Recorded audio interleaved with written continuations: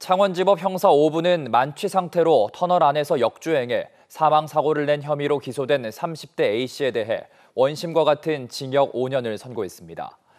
A씨는 지난 2021년 12월 새벽 경남 거제시 양정터널 안에서 술을 마신 뒤 역주행하다 마주오던 승용차를 들이받아 20대 운전자를 숨지게 한 혐의로 재판에 넘겨졌습니다.